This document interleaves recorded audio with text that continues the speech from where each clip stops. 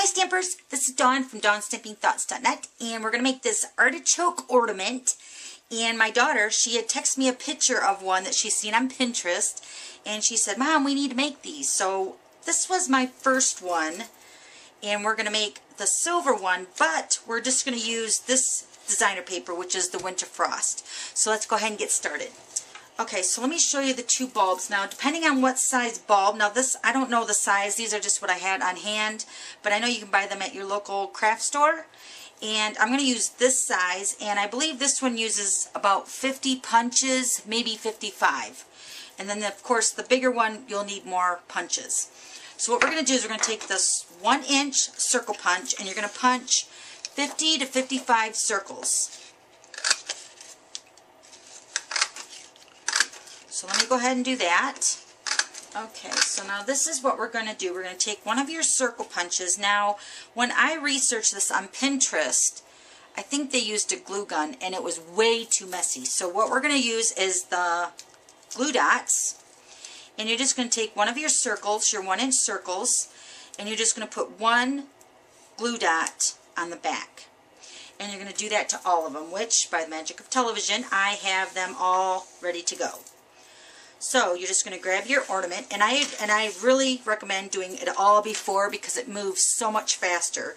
So get all your glue dots on the back of your paper, your designer paper, and then grab your ornament. And the trick is you want to start at the bottom. So now the first one that you're going to add, I would recommend adding like three, total of three glue dots, because that's going to go at the very bottom. So you're going to work from the bottom up, so the first one, you're just going to kind of see that indentation there on the bulb. You're just going to put that right in the center. Okay? Then you're going to flip it over and you're just going to start overlapping the circles.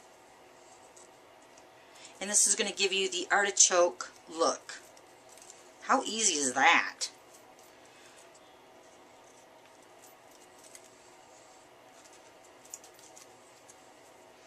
So then once you get your first row done, then you're just going to go up the next level and you're just going to kind of overlap it in between of the last previous circles and you're just going to continue doing that all the way around.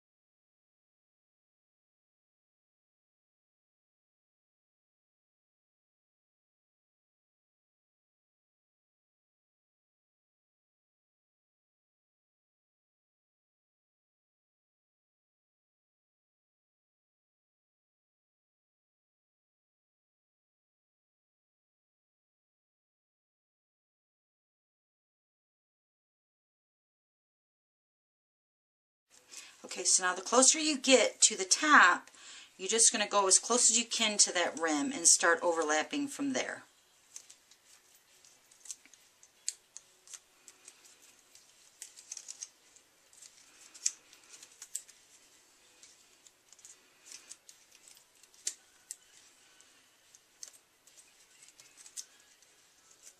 Okay, so there's your artichoke ornament.